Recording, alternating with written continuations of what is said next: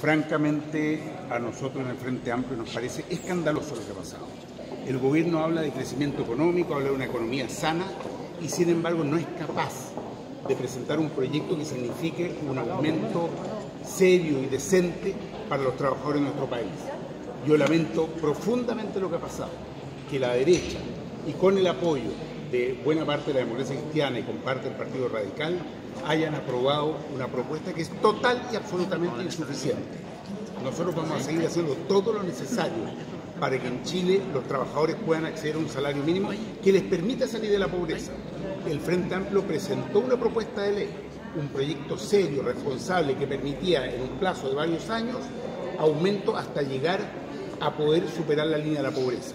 Sin embargo, el gobierno hizo oídos sordos, no escuchó y una vez más está cediendo a los intereses de los grandes grupos económicos que están teniendo ganancias millonarias, gigantescas, más altas que nunca, y sin embargo a los trabajadores se les ha entregado esta miseria de 10 mil pesos mensuales.